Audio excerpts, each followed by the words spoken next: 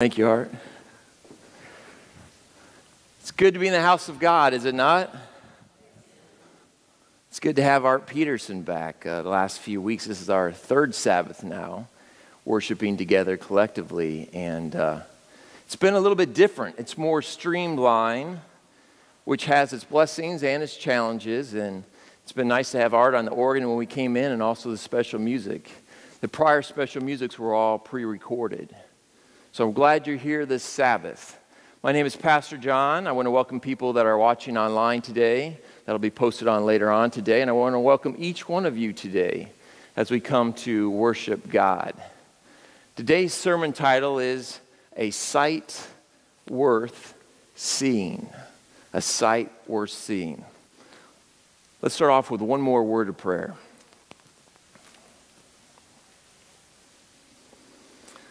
Dear Lord, we can never have too much prayer. Lord, we want to see you today. Not me, but we want to see you. May your portrait of Jesus Christ be hanging on the mantles of our lives, upon our hearts. Lord, there's many challenges. We're here to encourage each other, to pray for each other, to lift each other up because there's many blessings that you have bestowed upon each of us. Lord, open our minds and our hearts. I know it's been a long week, a trying week, a blessed week. Lord, may we see Jesus. In Jesus' name, amen. Yesterday, I was uh, celebrating my wife's birthday. And uh, it can be challenging to celebrate birthdays because she likes surprises. And this may be hard for you to believe, but I'm not always the most creative one when it comes to surprises. Sometimes I'm more matter of fact. Um, Christmas time, put it like for this for Christmas time, I like to say what gifts I get. I like to know what I'm getting. I'm not huge on surprises. However, I found a place that I'd never taken her before, and we took her out to eat. And as we were sitting outside, it was a beautiful day. Were you guys outside yesterday? It was a beautiful day. We're sitting outside and we're eating. And then I notice a march coming down the street. See if we have a picture of it. A march coming down the street. And I saw four people dressed in doctors' outfits carrying something that I thought was very unique. Richard, are you able to th- show that slide? I tried to snap a picture off. Did you get the, did you get the one, though, of the big nose? Oh, you didn't get it. All right, well, then I'll describe it.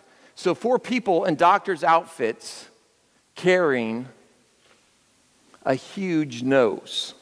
And then there was one person on the outside with this huge swab, and it was poking up in the nose.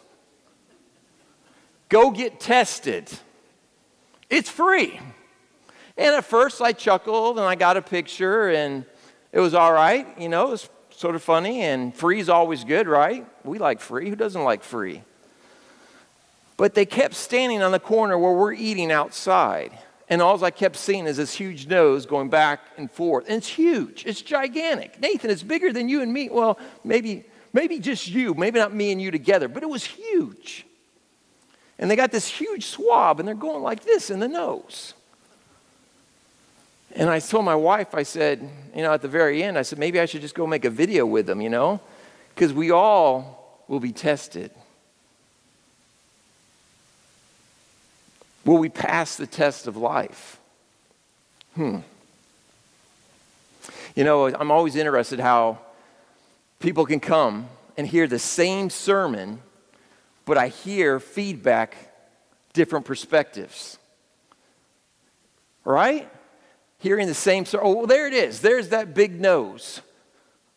They got the signs in the mass. See the swab on the sign? And I mean, you can see that picture. I'm close to that. That nose was like almost over my food. And I'm glad they were wearing their masks.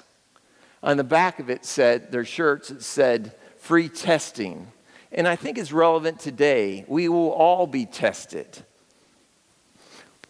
But when I preach a sermon, I'm always interested on the feedback I get from the saints and from the visitors. And it's always interesting to see the different perspectives the different views, things that people have seen, and the things that people have heard. Same sermon, same church, same people, church family, I should say, but unique perspectives. So, what's your thoughts about that? Well, Pastor John's a one way conversation. I'm sorry, it is a one way conversation here. But I want your thoughts to think. Think about that for a minute. Different perspectives. I've had people come up and say, Pastor John, that was the worst sermon I've ever heard.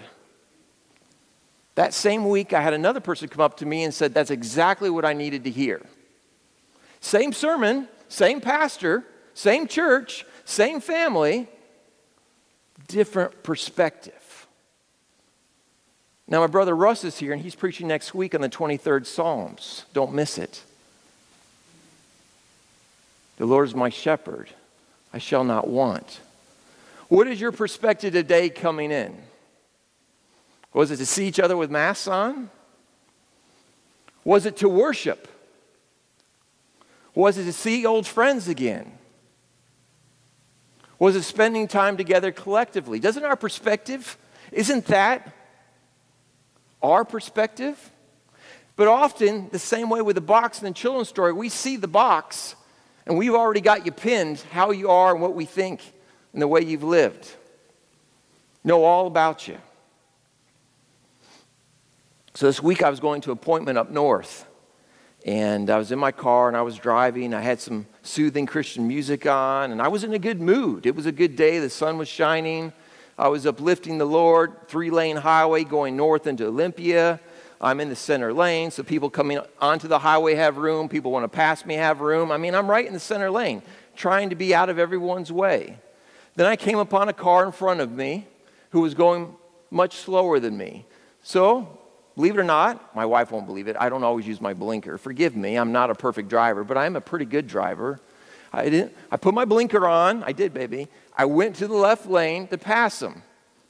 Now, you know, he's probably going 52, and I'm going about 57, and the speed limit's about 60. I probably, I was probably doing 61, but it's my story. So I'm doing still under the speed limit, 57, 58. And then all of a sudden, I look up in my mirror, and there's this car on my tail came from nowhere. I mean, it is on my tail. I'm afraid if I even let off the gas a little bit, it's going to be inside my car. Three lanes of traffic, then I see him slamming his brakes, go three lanes over, weaving in and out of the cars, and comes up next to me. And he waves at me and he tells me I'm number one.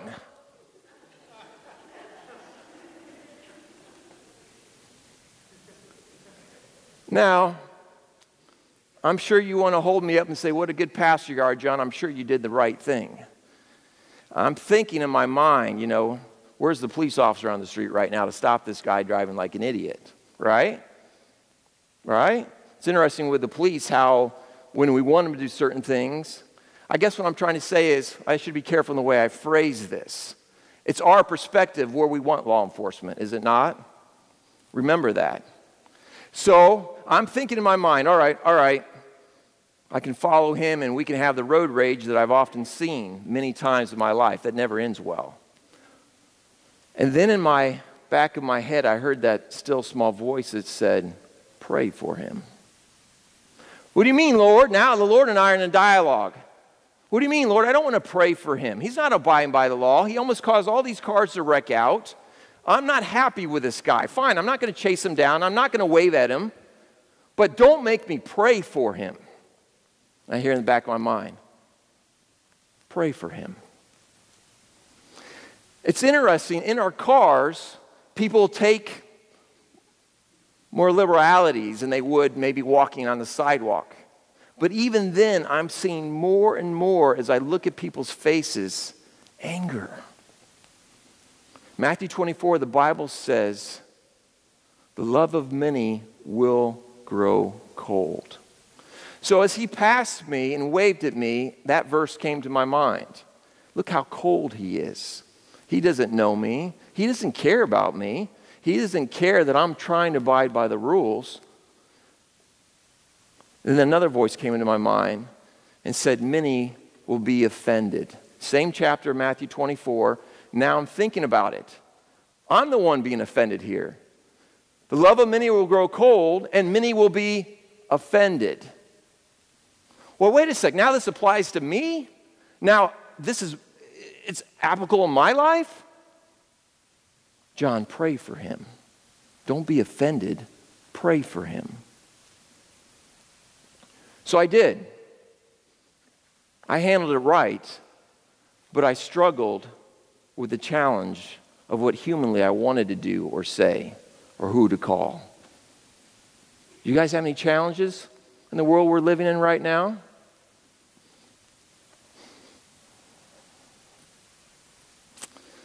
When I was young, I uh, fifth grade, I went into the doctor because I was having problems seeing with my vision. I was a little slower with reading. Well, part of it was my vision. And I remember when I went in to the doctor, he put the sign up. Maybe Richard has that. I saw that. He has the sign up with all the letters. I'm sure you've seen it, right? All the letters. Now look at all those letters. F P T O Z L P E D P E C F D E D F C Z P. I'm trying to impress my, my doctor here, who's my doctor, eye doctor. However, when I took, when I went and I was in fifth grade, I couldn't see the big E. That was the only letter I could sort of see. I guessed it, but I could barely see the big E. Would you say my perspective of the world was different than someone that was seeing 2020? Yes or no? Yes.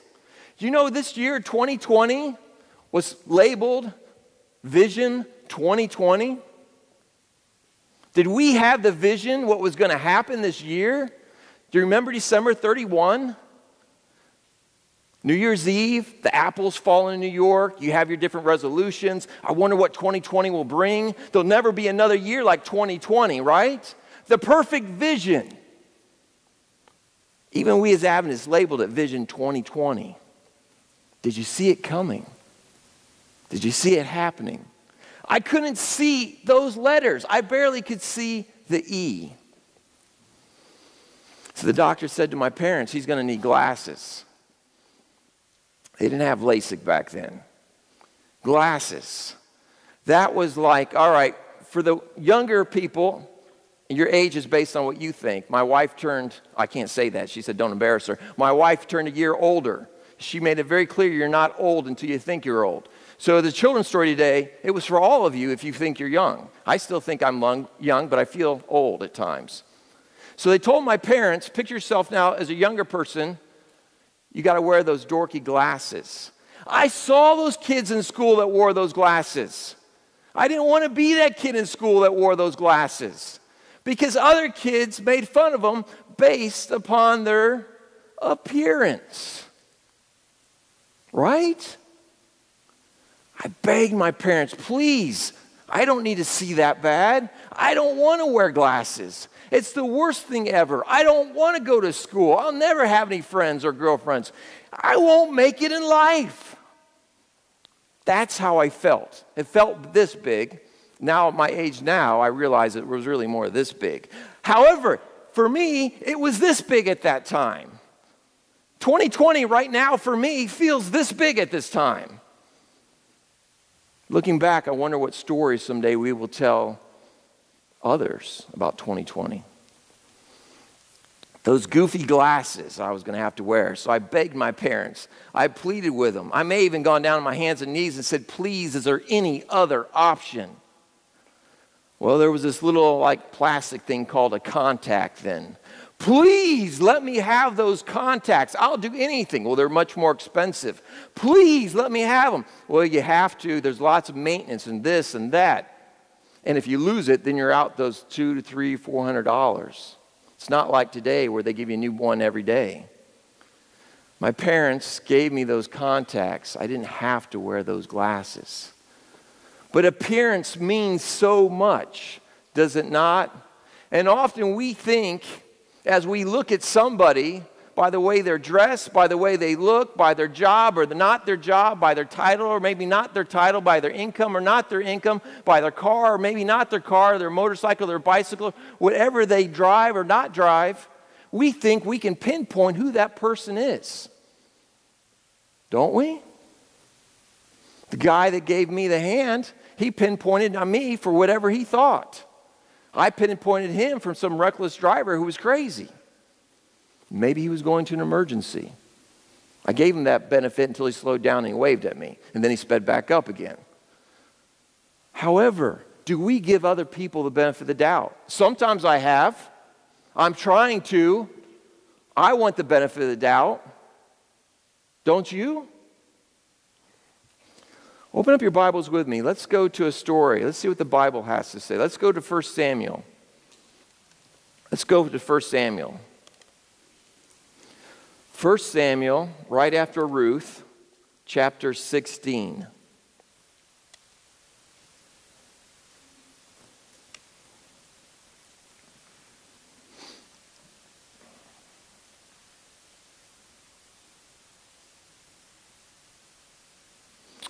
1 Samuel chapter 16.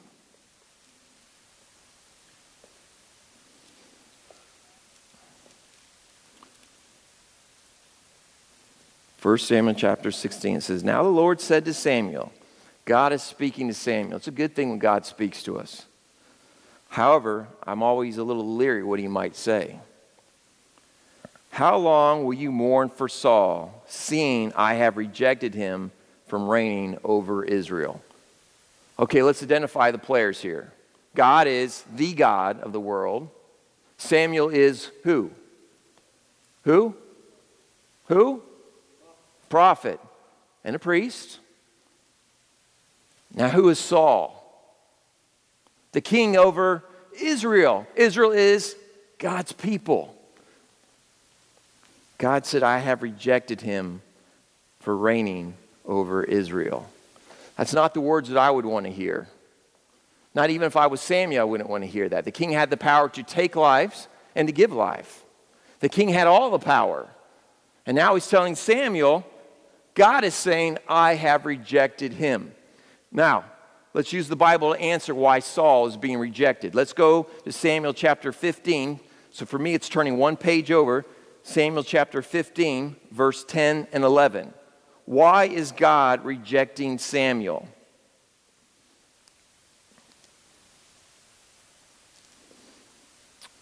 Chapter 15, verse 10 says, Now the word of the Lord came to Samuel, or rejecting Saul, I'm sorry. Now the, the word of the Lord came to Samuel, saying, I greatly regret that I've set up Saul as the king. God's going to elaborate here. For he, Saul, has turned his back from following me and has not performed my commandments. Two things stand out. Following God, a Christian is a follower of Christ, right? A disciple is a follower of God. Saul is not following God, and he's doing something else, rejecting the commandments of God. All right, turn one page back over to 16. Put your bookmark, if you have a bookmark in there. How important are the commandments? Let's go to Ecclesiastes. Ecclesiastes, Psalms, Proverbs, Ecclesiastes. And let's talk just a little bit about are the commandments important? You know, as the guy drove by me in the car very fast, the laws were very important to me at that time. And the laws are still important to me today. They keep us safe. Ecclesiastes chapter 12, this is the last chapter in Ecclesiastes, in the last verses, which is really important because we often say the most important things last. On our dying bed, we'll probably say the most important thing lastly. I love my family. I love you. I'll never forget you. What is God saying in verse 13? Chapter 12, verse 13. Let us hear the conclusion of the whole matter. Partial matter, a little bit of the matter, just a piece of the matter. Let us hear at the conclusion of the whole matter. Fear God. That's to follow God, right? Respect God. Fear God and keep his commandments. For this is man's all. Not partial, man's all. For God will bring every work into judgment, including every secret thing, whether good or evil. All right, going back now to Samuel. Saul rejected God. It came to light. He was not following God and he was not keeping God's commandments. Let's see how God handles this. Chapter 16.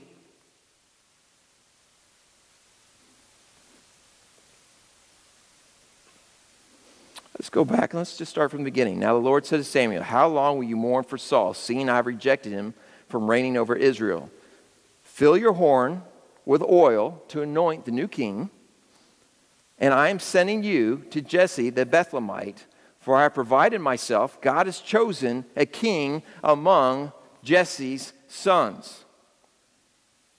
Verse 2 And Samuel said, How can I go? If Saul hears me, he will kill me. But the Lord said, Take a heifer, take an animal with you, and say, I have come to sacrifice to the Lord, to worship the Lord.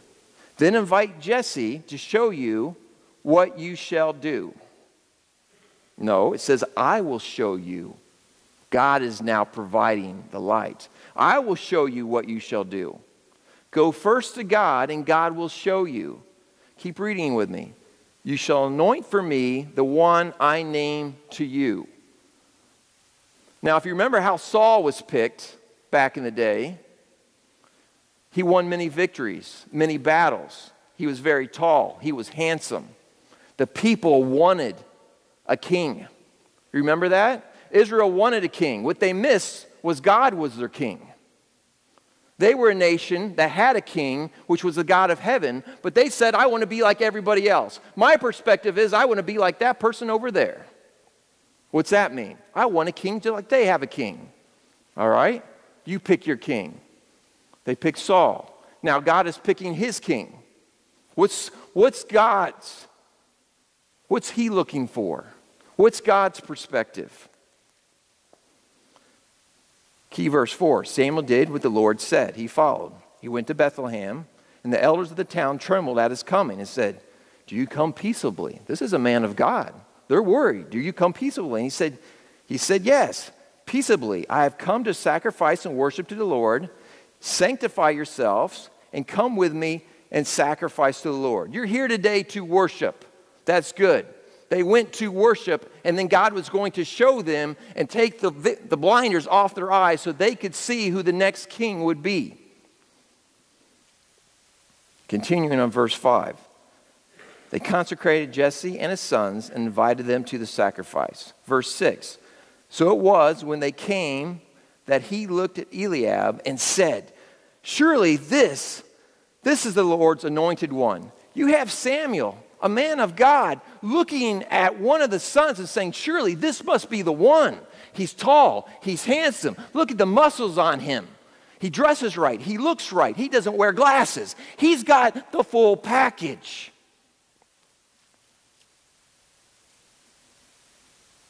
Surely this is the one the Lord's going to anoint before us. Verse 7 But God said, Do not look, Samuel, at his appearance or even at his physical stature, because I have refused him. For the Lord, don't miss this. For the Lord does not see as man sees. For man looks at the outward appearance, but the Lord looks on the heart.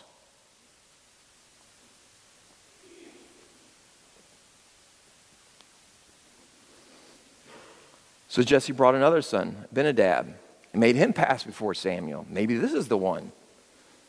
And Samuel said, Neither has the Lord chosen him.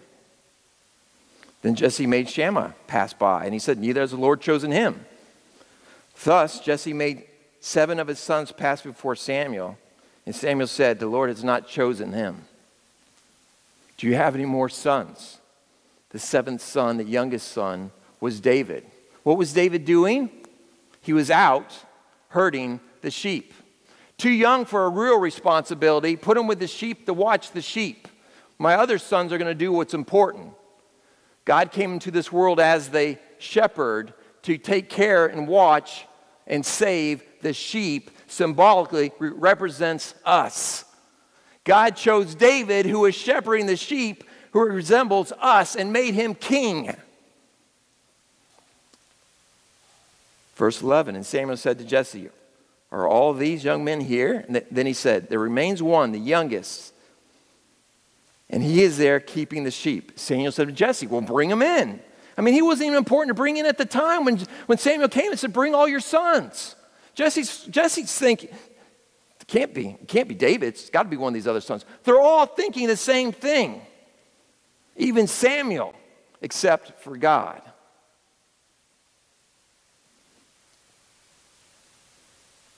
So he went, brought him in, David. He was ruddy, he had color on his face, with bright eyes, and he was good looking. And the Lord said, Arise, Samuel, anoint this one. Samuel took the oil, anointed him in the midst of his brothers, and the Spirit of the Lord fell upon David from that day forward. Wow.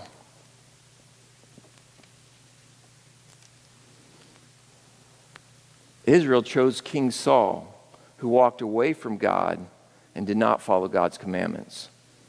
He did at times. God rejected him, chose himself a king. Someone no one else would have chosen, not even his own family. You know, if we talk about love, we look at the world's perspective, not only is that unequally yoked, but it's unhealthy. The world's perspective is wrong. God's love is not so much that we love ourselves as that we love others. Remember when Jesus was tested there in Matthew 22? Tell us, which ones are the greatest commandment, Lord? Which ones? Of the 10 here, which ones? Are the Moses 631 laws? Which laws are the most important? God took the 10 commandments and put them to two. Love your God with all your heart, all your soul, and all your mind. And when you do that, don't miss this. I know you're probably getting tired now. And when you do that, you will be able to love your neighbor as you love yourself. But you'll never be able to love your neighbor as you love yourself unless you first love God first.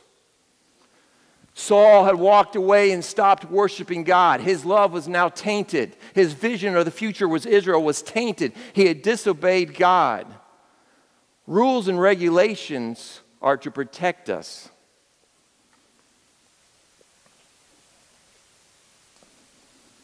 The Bible says spiritual things are spiritually discerned. So, what's the difference in that? I believe it's a heart thing. Where our heart is affects our eyesight and our vision. Where our heart is affects our eyesight and our vision. C.S. Lewis said, I believe in Christianity as I believe that the sun has risen. The S U N, the sun has risen. Not only because I see it, but because I see everything else. Turn that now symbolic, symbolically. Think about it. The sun has risen, S O N, and I believe it because I can see everything else, God's created being. So, what's your vision today?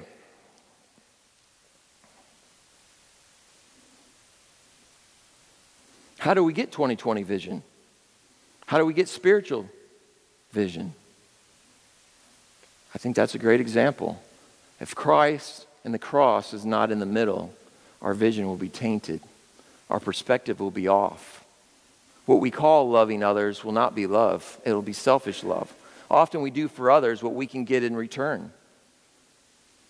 All these things I have done too. I'm not preaching at you, I'm preaching to myself. We have done things for what we can get in return. But true 2020 vision is loving others the way Christ has loved us.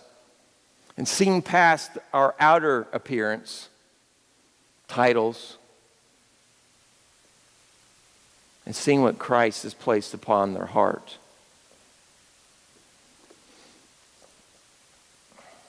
I'm going to share a verse with you that I don't like. Let's go to Jeremiah 17 9. I don't like everything the Bible says, but I believe it.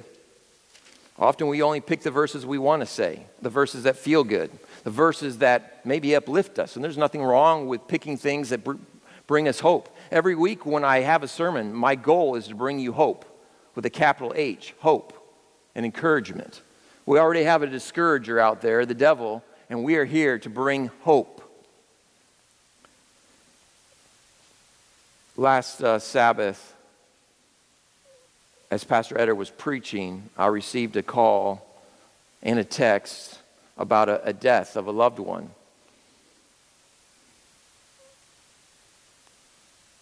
Bonnie Plyer passed. Many of you may not know her, but she and Bob came to this church for a while. Bob is here today. Thank you, Bob, for coming, and Bob's family.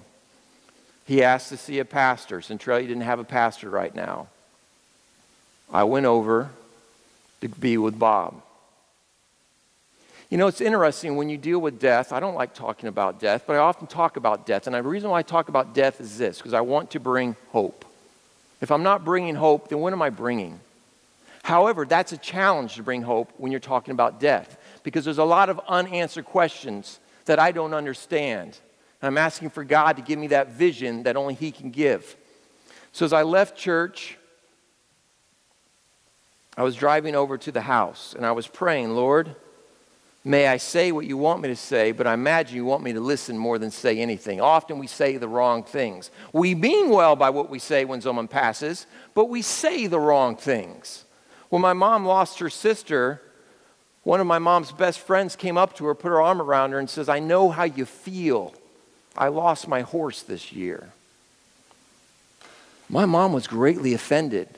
She meant well. The lady meant well. She loved her horse. I love my animals. The difference is we all grieve differently, so we have to be careful on how we tell people to grieve. Let them grieve the way they need to grieve. It's best just to sit with them and pray with them and encourage them. Bob was graciously there. He opened the door. I went in. Bonnie was there, peacefully resting in Jesus. You know, there's something about the peace of death. They're resting. They're not being challenged by sin anymore. They're not being attacked by the devil anymore. They're not having the craziness of life that you and I are living. She was resting. However, this is a challenge for us that remain alive, that miss her and love her and want to be with her. That time frame that we need to wait until someday, through the grace of Jesus and the blood of Christ, we are reconnected with Bonnie. So Bob and I and the family sat on the couch. I tried to listen. We prayed. I claimed a few Bible verses, but often when you're in the midst of grieving, your perspective is it's hard to see, is it not? It's hard to see as that loved one. 66 years of marriage has passed. As the funeral home knocked on the door, and they really did everything right as much as they could. They were very gracious and kind. The hardest part for me of the passing of my loved one was watching them remove the body.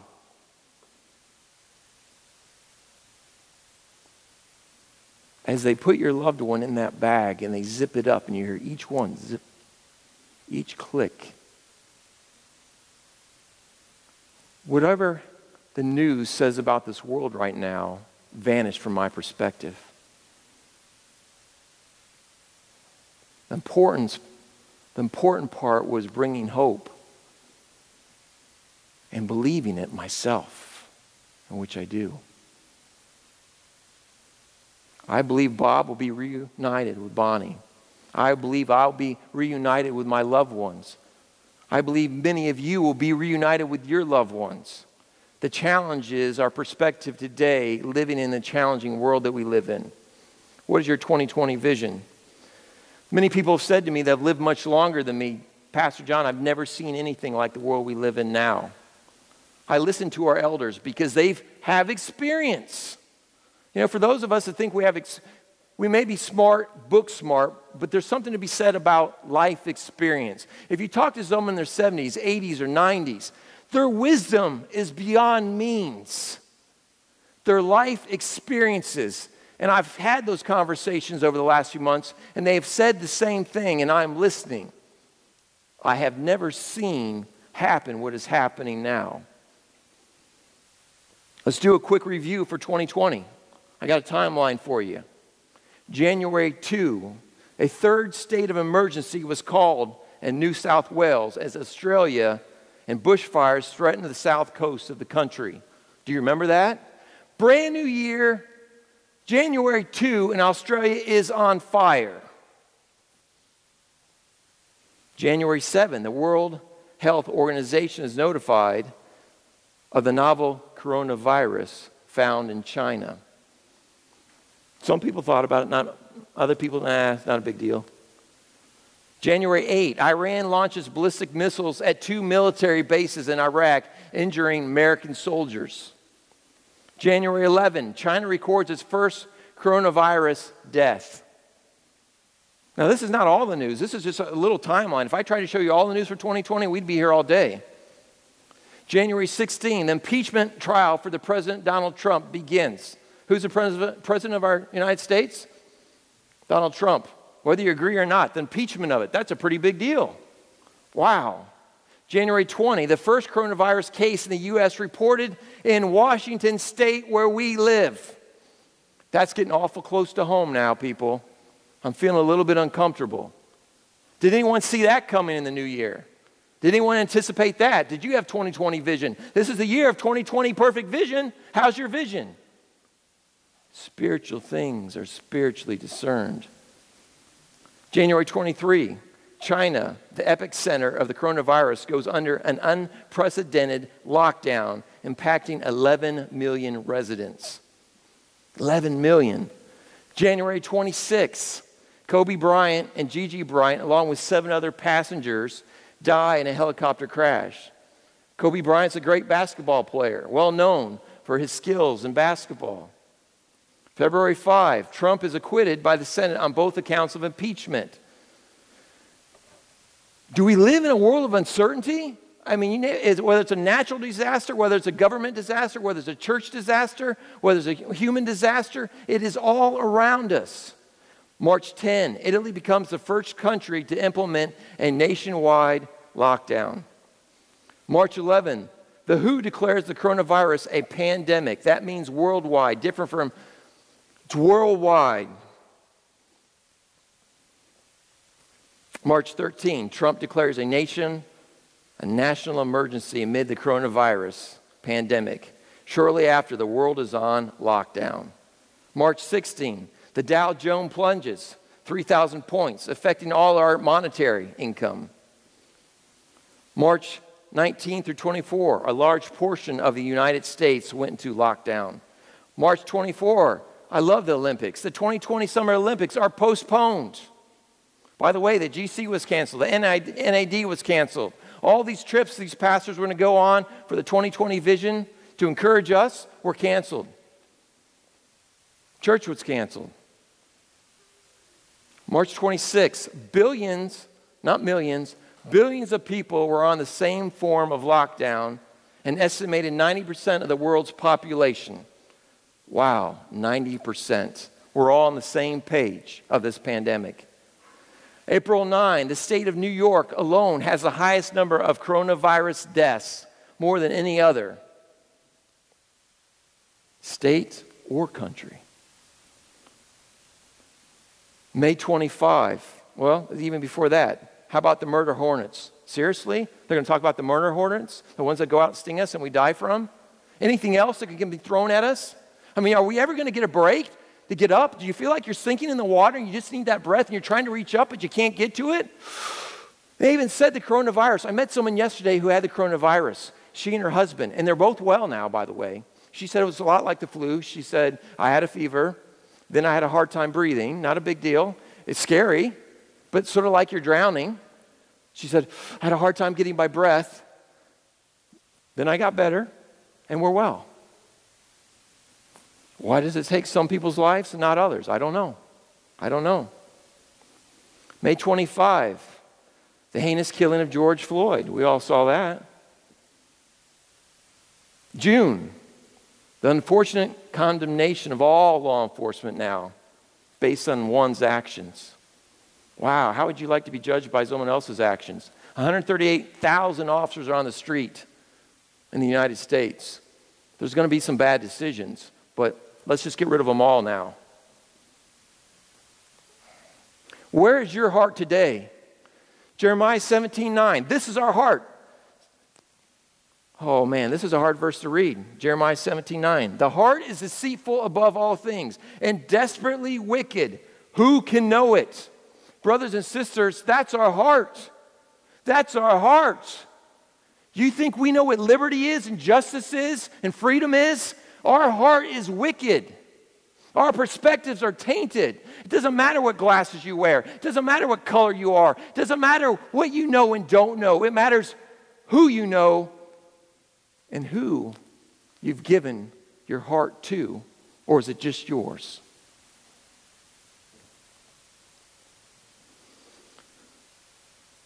The heart is deceitful above all things and desperately wicked. Who can know it? I'm glad the Lord does not stop there. Verse 10 I, the Lord, search the heart, I test the mind, and give to those man according and women according to the fruit of their doing. Praise the Lord that the Lord is the one that judges our heart. I believe with all my heart Jesus has seen what is happening today. And I believe his heart is breaking. I had a lunch with Dave Shelton today, or I'm sorry, maybe you come over for lunch today, but I had a lunch with Dave Shelton this week. And it was interesting. You know, he didn't know what I was writing on the sermon, and even I didn't know. I actually wrote four different sermons. Didn't finish them all. I had bits and pieces of four different sermons because my heart and my mind and my perspective is probably a lot like yours right now. What do you talk about? Dave said something made a real impact on me. We're eating lunch, we had a time of prayer, and he said, I, my perspective is this. He didn't know what I was writing on. I want to bring a smile to God's face. Am I bringing a smile to God's face? Are you bringing a smile to God's face? I believe God's heart is breaking. In 2 Chronicles 16, verse 9, it says, For the eyes of the Lord run to and fro. God's eyes, his perspective is running to and fro. Second Chronicles 16, 9, throughout the whole earth. He wants to show himself strong on behalf of those whose heart is loyal to him. Brothers and sisters, I believe you're here today because you're loyal to him. I believe that. Only God knows your heart. But I believe that and says God is running to and fro throughout the whole earth to show himself strong on behalf of those whose heart is loyal to him. Well, Pastor John, what about an eye for an eye? The Bible talks about that, an eye for an eye. Don't you say all biblical word is inspired? It is. But we often take things out of context. As I'm coming to a close, I want to go to that verse. So go with me to Matthew chapter 5. Matthew chapter 5. And let's see what the Bible says about an eye for an eye. Matthew chapter 5, verse 38. Matthew chapter 5, verse 38.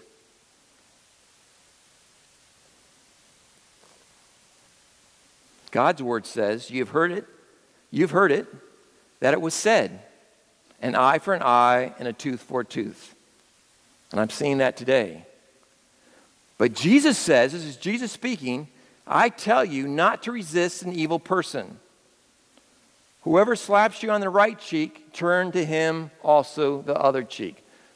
Wow, that's hard. We read this, but do we think about it? If anyone wants to sue you and take away your tunic, let him have your coat too. Verse 41 Whoever compels you to do, go one mile with him, go two. Verse 42 Give to him or her who asks of you. And from him who wants to borrow something from you, do not turn it away.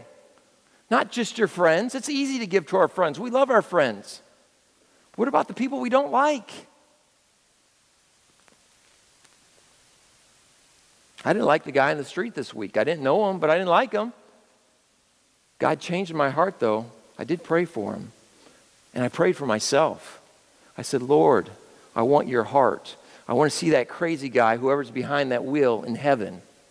Because only you can change his heart. And if I'm not praying for him and lifting him up in prayer, providing hope to him, what am I doing? Every person has great value in God's eyes because they're all God's children. Even that guy in the car waving his fist and hand at me.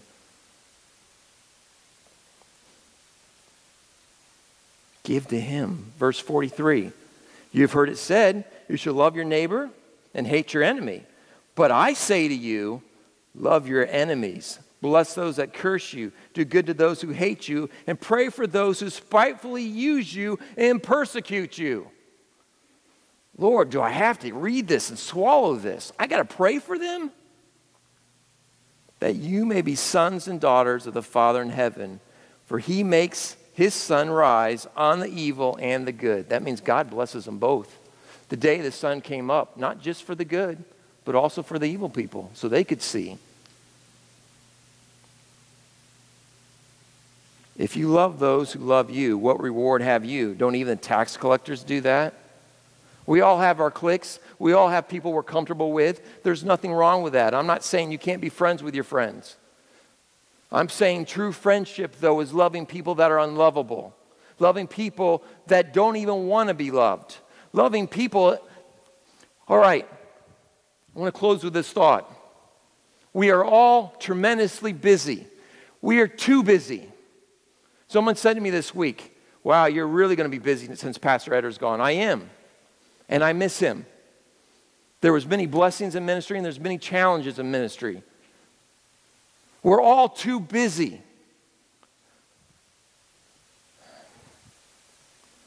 It comes down to this. 2020 is a census year. Christ was born in a census year. Remember? A census year where they count the numbers of the people. Remember the census being done on Christ? A census counts and values the people. I pray that God holds my heart and will create in me that 2020 eyesight. The verse I often quote day in and day out Psalms 51:10 O Lord create in me a clean new heart because once I have that clean new heart, then I can pray for somebody else. But if my heart is wicked beyond belief, then I will only condemn that other person. I have to have the vision of God. To love God the way people love, He loves God. Well, I said that wrong. To love God the way Jesus loves people. Don't you want that? To see the way Jesus loves Ryan. Ryan is a good friend of mine. I want to love Ryan that way. I want to have that same love that only Jesus has, and it'll only happen with a heart that comes from God.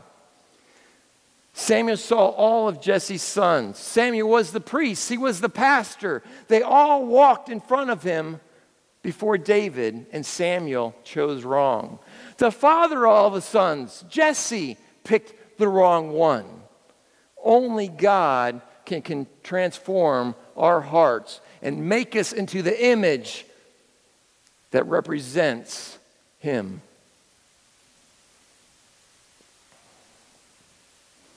Ellen G. White said, Worry is blind and cannot discern the future, but Jesus sees the end from the beginning. Will you, will I go to the great physician to let him correct our eyesight? In the year 2020, will you join me in asking for God to create in you and me a new heart? I am praying for 2020 eyesight. For Jesus and all of heaven will be a sight worth seeing. The Bible says, Eye has not seen, ear has not heard the things that God has in store for those that love him with all their hearts. Let's say a closing prayer.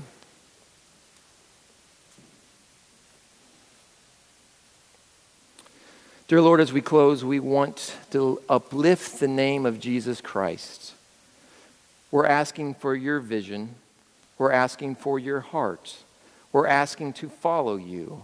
I'm asking your blessings not only on my church family that are here. Lord, I love each one. Each face that I see today, I love. But Lord, may I pray for the people that are hard to love, for the people that I don't want to love, for the people that challenge me in my walk to see you. I could justify all their wrongs in my mind, but Lord, you could justify all the wrongs that I've done in your mind. Lord, if we're guilty of one sin, we're guilty of them all. As the prodigal son, Lord, you gave him your robe of righteousness. I pray that each of us ask that of you today.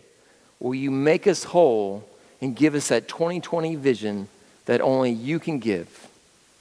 In Jesus' precious name. And all God's people said, Amen.